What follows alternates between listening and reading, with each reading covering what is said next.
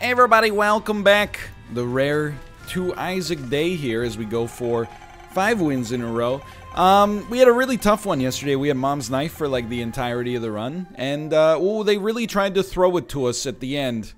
They, oh, dude, we start with the tears upgrade. D-La. I'm just not, sorry, sorry. I'm, internally, I'm, I'm some combination of like 55 and 14.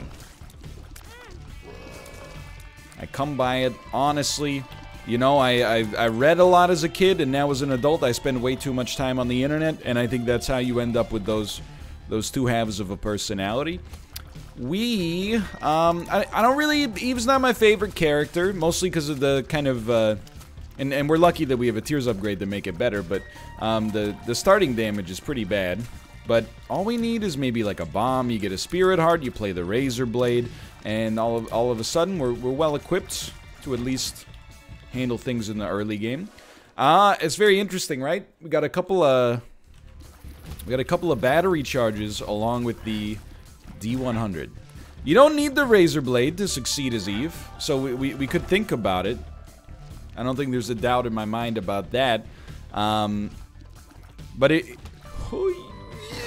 Okay. just probably not the way we want to build immediately. You know what I mean? It's probably it's probably not the first way we would look at at constructing this run. All right, but I like I like where we're at statistically here. I don't even think we'll re. I know ah, you know, but, ah, but I'm getting roasted, dude. I'm getting roasted over the zaniness. You know, even when you're a, you're the father to a three-month-old infant, people want you to to live your life like you're Xander Cage at the start of the movie Triple X where he, he jumps out of a. You've seen it. He, he, he drives like a convertible sports car off the cliff and then skydives out of the car while it's falling. And you're like, dude, did you have to wreck the car? See, this is. Oh, crap. I really wanted those bombs. This is more my speed. This is more my speed sacrificing all of our possible advantages to get an item that does basically nothing for us. to be fair, I really wanted those bombs. I just kind of overextended, but... Um, excuse me? Excuse me? Um, I have Continuum. Why are my shots not passing through the wall? I'd like to speak to the manager, please. I apologize for, for, for the boredom here, but we'll be moving on. Because I'm a sucker, like I said, etc., etc. Fricked up in the head, Nat. Let's see what we got in here. I, am willing to throw down Wheel of Fortune, because I think that we will probably get some troll bombs in here. It's all about, like, the force multiplier of making semi-useless cards actually do something for us. Turdlings, please. Thank you. Yeah, so I'm, I'm doing well. We didn't really cover it in the last episode. You know, just just settling into this new schedule, enjoying uh, January, which is a month that has you know some negatives, but also some perks, I guess. Uh, oh well, we we. You know what? This is where you absolutely just do that to protect your your Whore of Babylon status.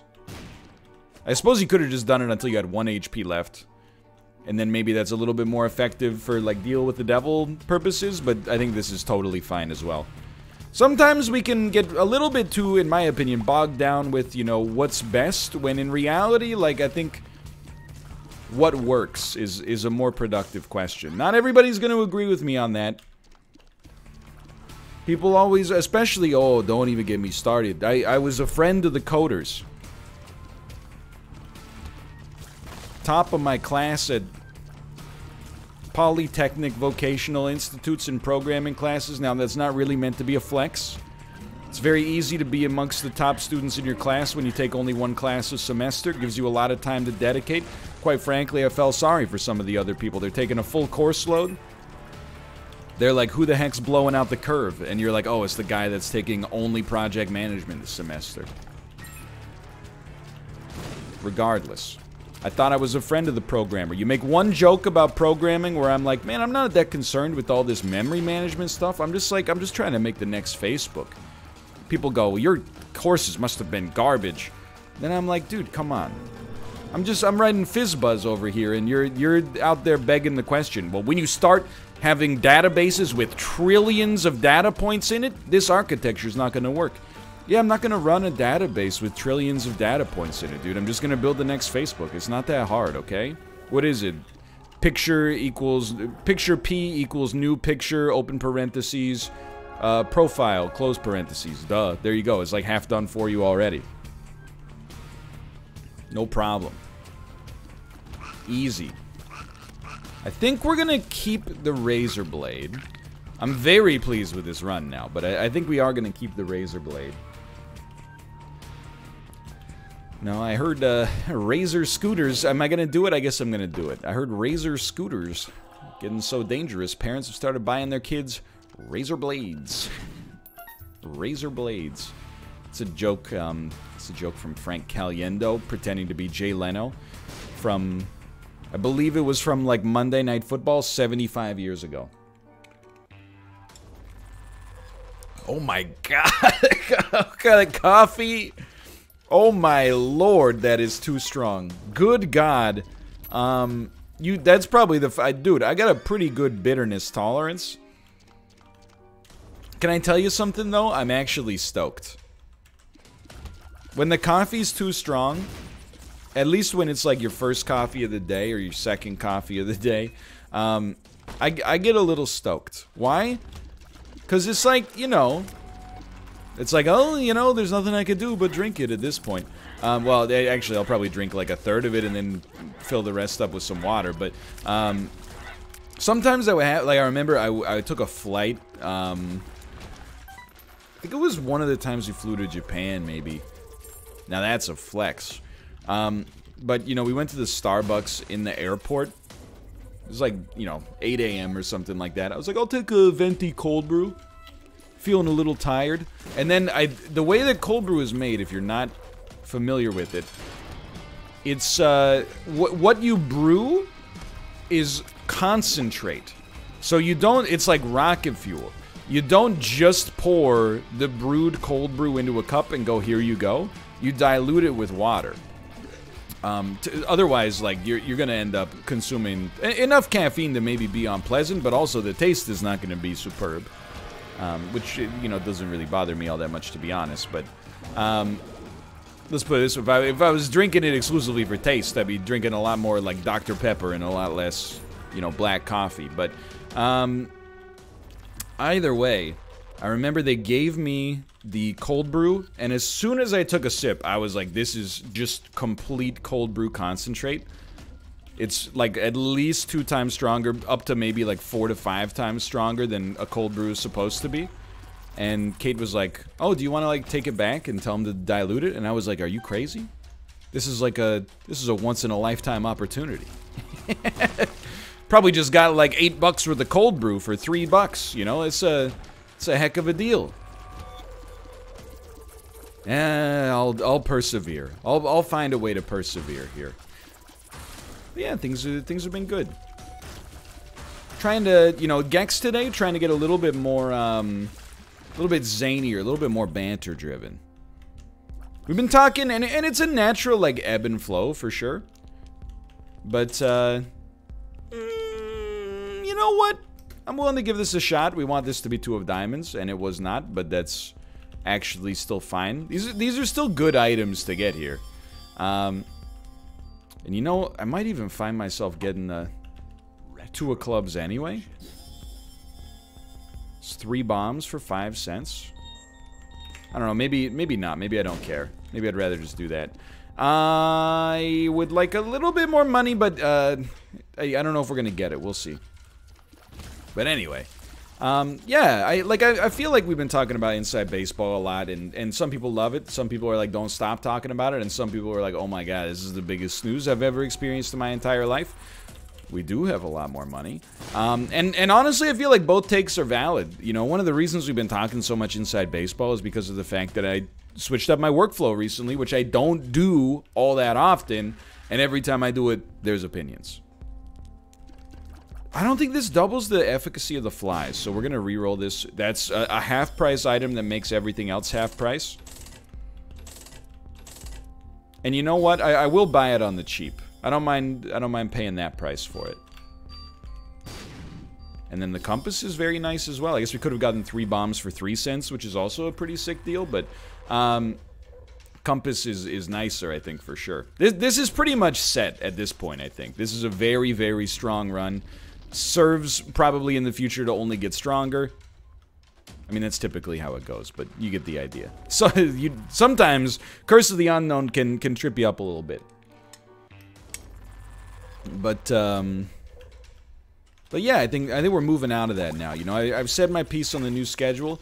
Um, there's parts of it that are working super well. I, I, would say most of it is working super well, and it, it's kind of apparent in the sentiment, but also in the the analytics, to be honest, um, on on both platforms. And then you know, like I and I can also feel it like on my mental health. Like I just feel lighter, I guess.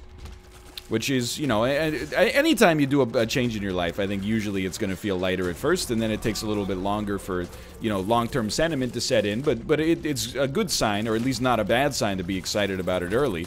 Um, but then now that I'm like settling into this routine, we can get back into actually trying to be entertaining instead of spending, you know, every stream and every video justifying like why some of the Spelunky content comes from streams instead of some of the Spelun uh, instead of all of the Spelunky content, you know, being recorded, uh, me talking to myself in my office, right?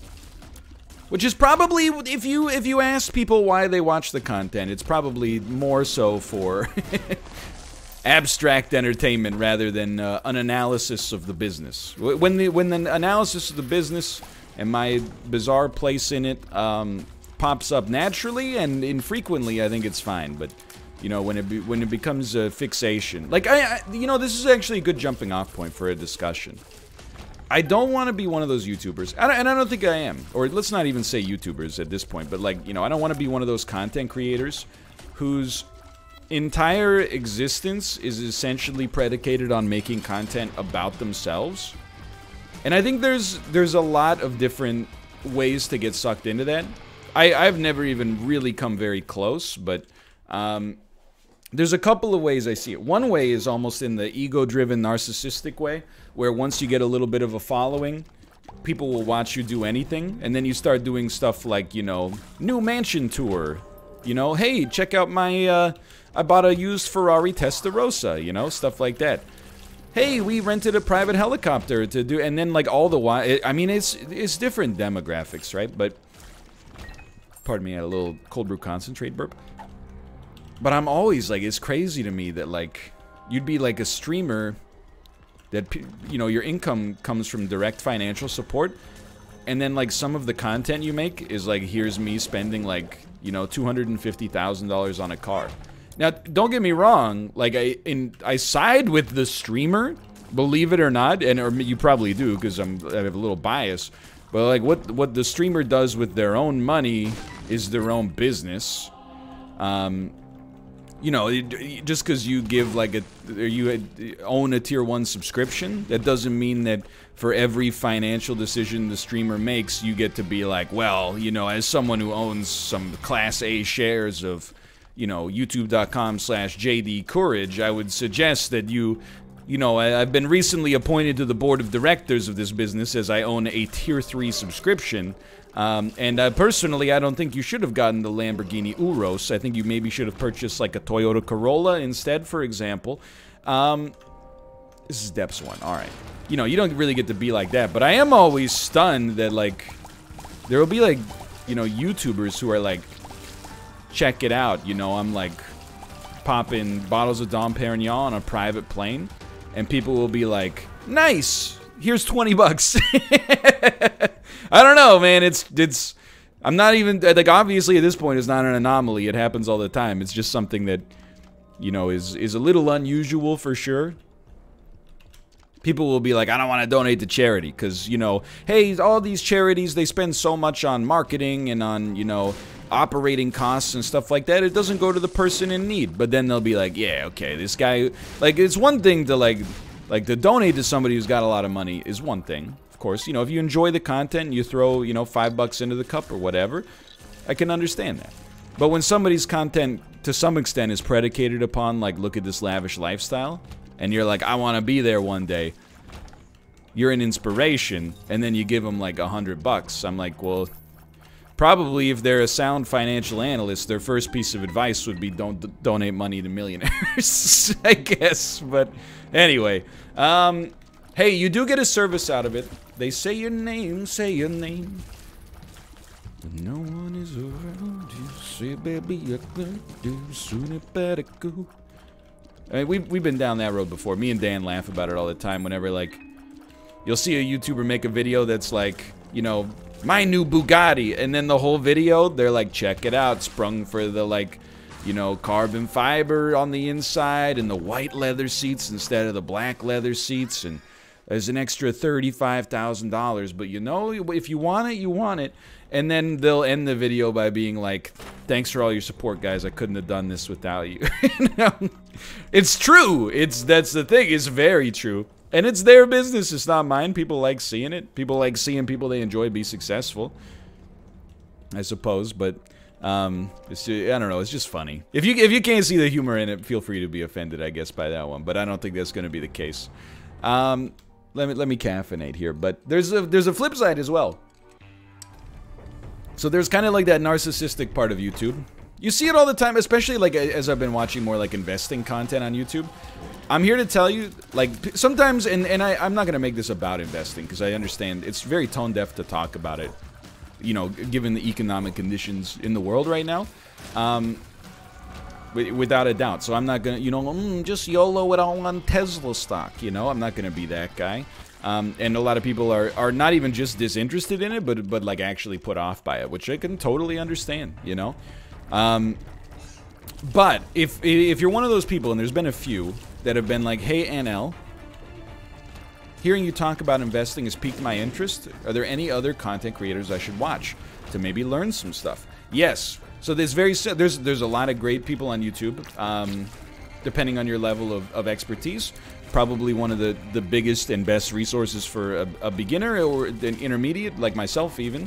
Um, if, if, I can be so, uh, if I can praise myself, because I've only been doing it for like two months, but um, is a, a YouTube channel called The Plain Bagel, which goes over like relatively basic concepts and, and things to watch out for in the investment industry um, for for people I would say ranging from beginners to like yeah kind of know like the basics. What you should definitely not do is watch videos from people who are like, you know, the one stock you absolutely must buy, guaranteed to go 10x this year. Like that stuff will get you in, in trouble. It's not based on any logical sense for the most part. I'll take this, but not take the pills, I think. It's it's more or less exclusively predicated upon uh, getting you to to feel like FOMO, like oh, if I don't buy this, like everybody else is gonna be dry, they're gonna be popping champagne bottles in Hawaii, and I'm gonna be like, uh, you know, just sitting here on my computer, you know. So that that stuff is designed to make you like think irrationally and and pump a stock that they actually just own, and as a result, they're trying to get you to take a position in as well. But anyway, I digress. But yeah, it's the same thing in, in that side of the industry. There's a ton of people that like they'll do videos that are like they pull their Lamborghini up on the tarmac and then like get into a private well they're getting into the private plane like somebody walks up to them with the louis vuitton duffel bag with the zipper open and just like tons of hundred dollar bills sticking out of it i'm like i don't know it's you know i've watched like some business documentaries and stuff like that i've never seen like uh I've never seen a genuine, like, wealthy person, uh, like, drive their sports car onto the tarmac uh, at the airport and then, uh, yes, Mr. Bezos, your uh, $10 billion in the Louis Vuitton duffel bag. Like, it's just, it appeals to, like, uh, an idiot's idea of what it means to be fabulously wealthy, I think. But anyway, that's not really where I was trying to take this one. But um, the flip side of it is there are content creators who, for whatever reason, can't help but like get themselves into like they just keep stepping on mousetraps, if you know what I mean. Like originally maybe they started out and they're like a gaming YouTuber and then they put their foot in their mouth on something and they make a video like apologizing for it and then, you know, after making the video apologizing for it, people are like, "You should have stood by what you said." So they make a video like apologizing for their apology. Then they go on like 12 podcasts to talk about the apology and like it's just like it's crazy, man. I mean, first off, like it sounds miserable for sure. But I'm also like, man, how long can you like sustain that before people are just like, how much this, this YouTuber's gotten like so much content out of this like one meaningless event. Like it's crazy, right? So yeah, I'm always, uh, well not always, but I, I try to notice now and then at least when there's maybe that impulse to be like, I'm gonna spend every, hey, let's go. Every video justifying, like, this is why I did this, this, and this. And just like, you know, it's like, if you want to watch this, there's like behind the scenes content, right? Imagine if you went and saw like a Marvel Cinematic Universe movie and like, you know, after you watch the movie, in the next movie, Spider-Man was like, you know, uh, the reason, uh, a lot of people think it was a plot hole that um, there was the Infinity Gauntlet that was located in uh, Odin's vault in Thor 2, but actually it wasn't the. If, if, you go back and watch Thor Ragnarok, that wasn't the real Infinity Gauntlet. That was clearly a fake, as mentioned by uh, Cate Blanchett. You know, like if they just spent all the content justifying the response to the content, you would be like, I don't want to watch this anymore. So you know, I try to I try to strike a good balance between inside baseball, which is something we talk about a lot and something I'm very familiar with because you know. I mean, you, you, you, you got to speak about what you know. You know, you got to stay within your circle of competence. I don't I don't know that much about a lot of things. I know a lot of trivia, but unless you, you want me to just recite, you know, like, well, the 2000 Olympics were in Sydney. The 2004 Olympics were in Athens. The 2008 Olympics were in Beijing. The 2012 Olympics were in London. 2016 Olympics were in Rio de Janeiro. 2020 Olympics were postponed, but they're scheduled to take place in Tokyo in 2021. You know, like, unless, I mean, some people are like, yeah, that's my jam. And then a larger swath of people are like, I'm asleep right now, so do whatever you want, King. But for me, you know, it's we gotta we gotta strike a balance. It's it's cyclical, you know. You make a change, you're stoked. The change manifests. People have feedback. You focus maybe a little bit too much on the negative feedback, and then you you, you get out of it. And and we're we're out now. We're not even pulling out of the muck. We've already we've gotten the car has gotten traction.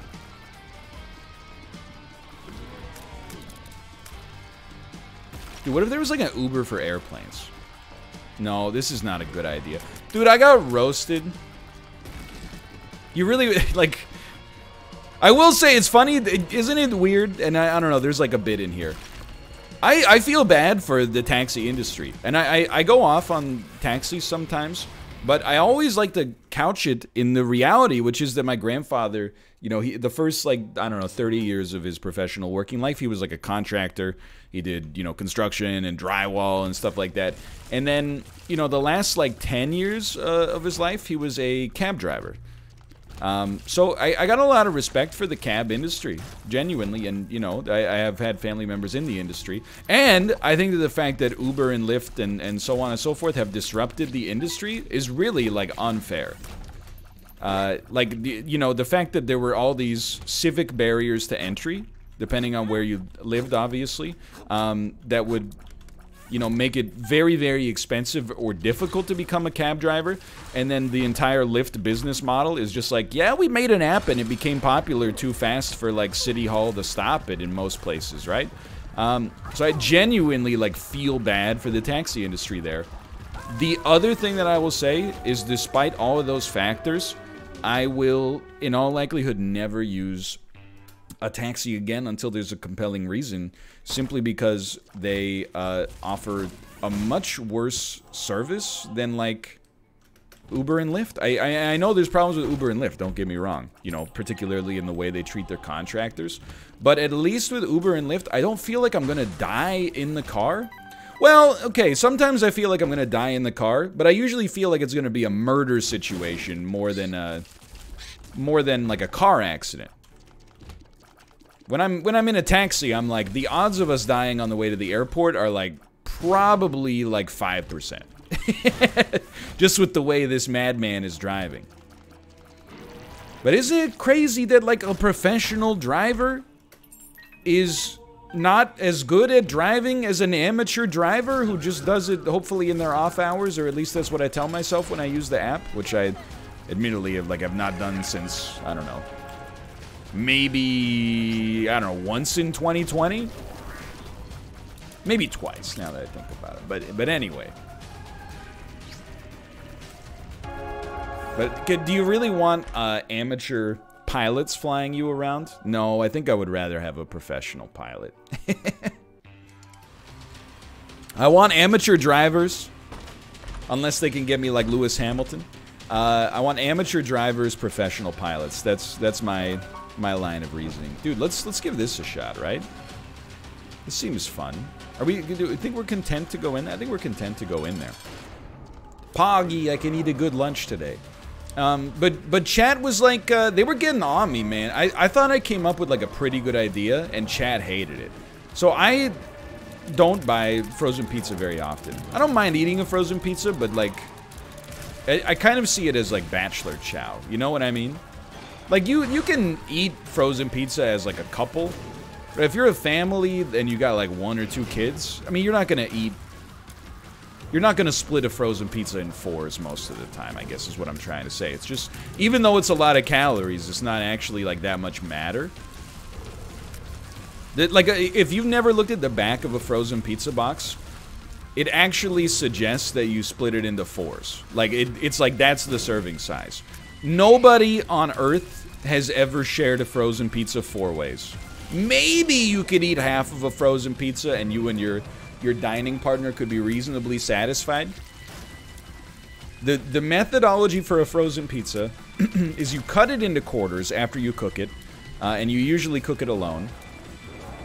And then, we're not to finish this bit, I'm realizing. You eat two of the quarters, aka one half, for dinner, and then you say you're to save the rest.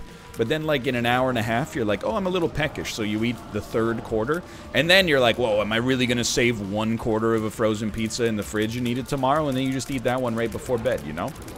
So I was thinking, how sick would it be if they just sold frozen pizzas by the slice? And Chad told me that they thought it was the worst idea they'd ever heard, and it undermined my confidence in my business sense. But anyway, for now, thanks for watching. That was a fun episode. I hope you enjoyed it. If you did, click the like button. I've said a great deal. Of course, subscribe if you want to see more in the future. For now, thanks for watching. I'll see you next time. See ya!